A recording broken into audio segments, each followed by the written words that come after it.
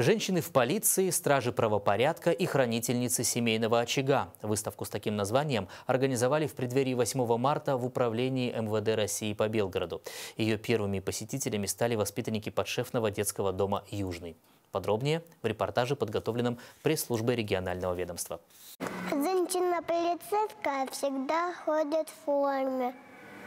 Они, они ловят воров и преступников, и нарушителей и нарушителей дорожного движения. У женщины-милиционера тоже есть дети, и она их воспитывает.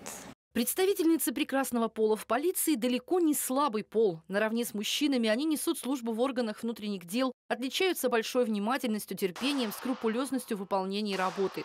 А еще они хранительницы семейного очага, жены, мамы и просто настоящие умелицы. Вышивка крестом, бисером, конструирование и моделирование из салфеток, роспись акварелью, торты из мастики, оформление в стиле декупаж. И это далеко не все, на что способны женщины в погонах.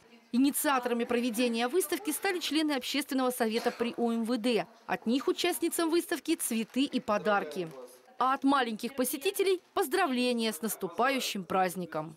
Дорогие женщины, я желаю вам счастья, любви.